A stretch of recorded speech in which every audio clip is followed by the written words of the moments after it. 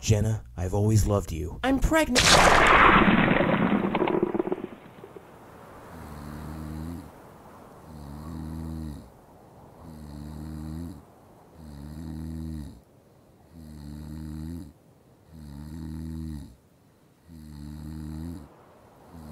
Well, that's boring. That's slightly less boring.